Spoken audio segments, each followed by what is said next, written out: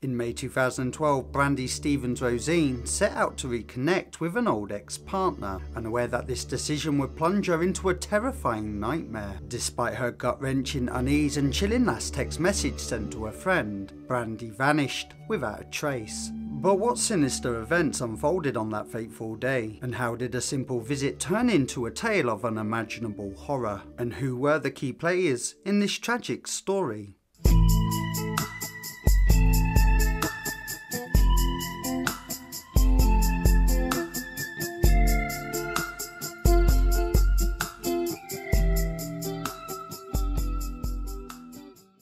Good morning, good afternoon, and good evening. My name's Lloyd. Hi there, and welcome or welcome back to the dark side of reality, folks. This case is possibly one of the most disturbing and unsettling cases we've covered yet on this channel. And with all that being said, get comfortable and relax. This is the tragic case of Brandy Stevens Rosine.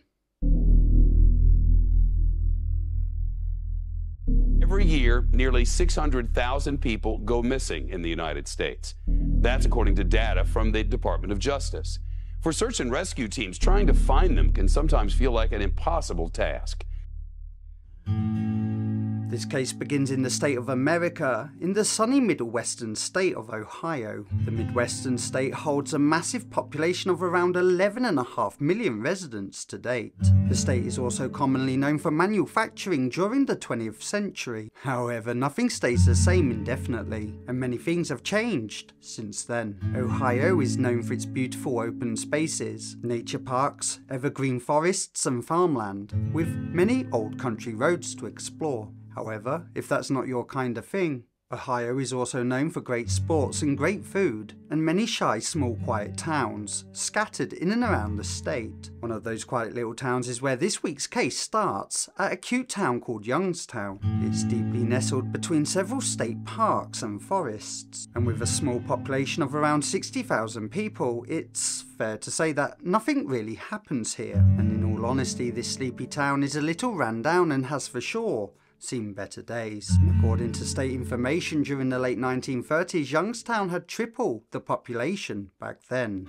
Brandy Stevens was born on November the 30th in the year of 1992 in Beavertown, Ohio. From an early age, she was a vibrant and a cheerful child who shared a close bond with her parents, sister, and brother. Brandy's joyful nature was evident in her love for go-kart riding, singing, and listening to music.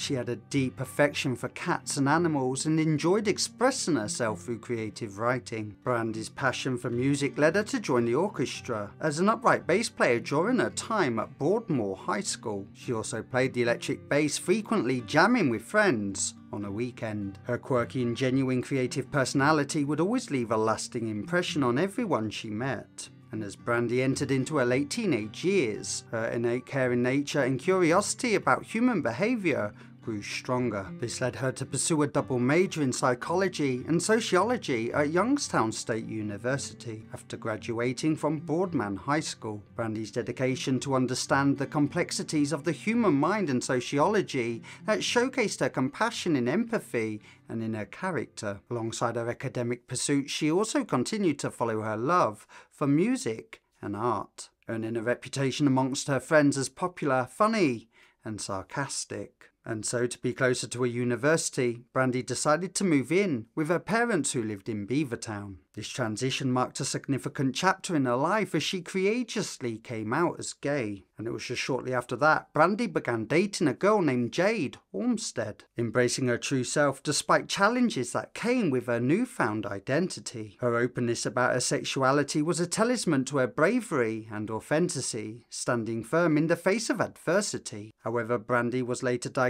with diabetes and managed her diabetes with resilience never allowing it to hinder her spirit. Surrounded by a loving family, supportive friends, and a bright academic future, Brandy's happiness radiated through a positive outlook on life.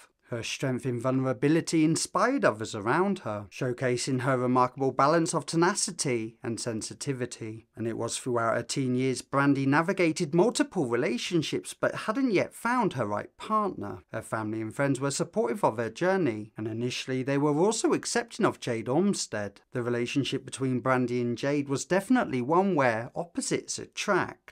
Brandy was outgoing and lively, but Jade was more reserved. And for the meantime, Brandy's family, sister, mother, they they, they really liked Jade, but they soon began to notice unsettling aspects to Jade's personality. Despite their own concerns, they prioritised Brandy's happiness and tried to put their own feelings aside. Unlike Brandy, Jade, however, came from a troubled background, as her parents were more involved with drinking and drugs than rather caring for her, creating an unstable and neglectful home environment. And Jade's family did not accept her sexuality, which only attributed to her unhappiness and struggles with her own self acceptance. This stark contrast within the family dynamics made Jade's life more challenging and definitely influenced the relationship between her and Brandy. Initially, Brandy and Jade had a strong relationship. Their bond seemed to thrive on the differences that initially attracted them to each other.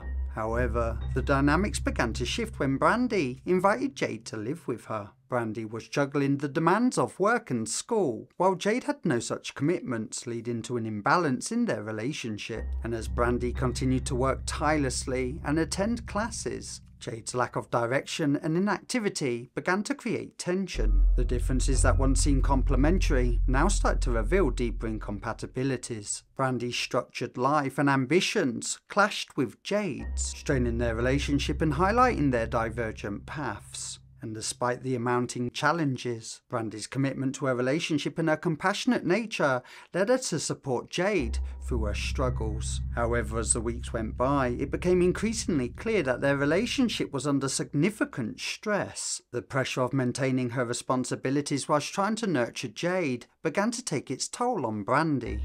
And in 2011, the cracks in Brandy and Jade's relationship deepened dramatically. Yeah, Jade stole Brandy's iPod and her savings of $300 before leaving abruptly, leaving Brandy heartbroken. This, however, was a serious heartbreaking and painful betrayal for Brandy to deal with. I mean, she had invested so much of her time and herself in this relationship, and Jade had leached onto Brandy seeking acceptance and love but she ultimately took full advantage of Brandy's kindness and trust. The theft marked a turning point in their relationship, revealing the extent of Jade's troubled nature. The incident forced Brandy to confront the harsh reality that Jade's presence in her life was actually more damaging than she had potentially realised. And even though Brandy's family and friends had harboured doubts about Jade, they all rallied around her in the wake of this betrayal as they provided Brandy with the support she needed to heal with their initial thoughts about Jade validated. Now, at the time, the emotional trauma and the breakup of this awful betrayal left Brandy questioning her judgment and the true nature of the relationship she had with Jade. And as Brandy navigated the aftermath of the heartbreak, she decided to focus on her studies and personal growth when you get into a relationship and it just goes really crappy and everything goes wrong, there's a time when you reflect on yourself and you start to ask yourself, is there something I could have done differently? You know, it, was it all my fault? And you have to hold your hands up and say, listen, could have done this better, could have done that better. But many people don't do that. The experience, though painful, strengthened her resolve to prioritise her well being and be more cautious about her future relationships. Now, it was at this point after leaving Brandy, Jade returned back to Baltimore to live with her family, and it was there she rekindled a relationship with an old school girlfriend named Ashley, a tough and mean spirited 20 year old who lived in Pennsylvania, about 80 miles from Youngstown. Comfortable with her identity, Ashley would often refer to herself as a butch bitch. I'm a bush bitch. Yes, you are. Kind of like that. She she was overconfident with being a butch bitch. Yeah. And she would often share her private pictures on selected adult websites. Yeah, she's classy. This the girl's got class. Not really. Now, despite the lack of acceptance from Ashley's family, Jade moved in with them, only adding further complications to her life. Fast forward just 12 months, and it's now mid spring in the year of 2012, when all of a sudden and completely out of the blue, Jade reached out to Brandy, and even though she was still in a relationship with Ashley, their relationship was a tumultuous one, marked by periods of silence and sporadic attempts to rekindle what they had once lost. Jade's interaction with Brandy was also complicated by Ashley's aggressive and narcissistic behaviour. Ashley's brass nature stood in stark contrast to the low self esteem and confidence issues that plagued both Jade and Brandy. But uh, despite these complexities, Brandy and Jade began spending time together again. Brandy, the ever kind and loving gorgeous soul, would often buy things for Jade, rekindling their former closeness. However, these interactions would not go unnoticed by Ashley, who grew increasingly jealous and resentful of Brandy. Sadly, this is where we're going to end the story for now, but come back in a couple of days where I will tell you the rest of this horrific crime story. And also, if you're a fan of true crime, then please subscribe to the channel if you haven't already.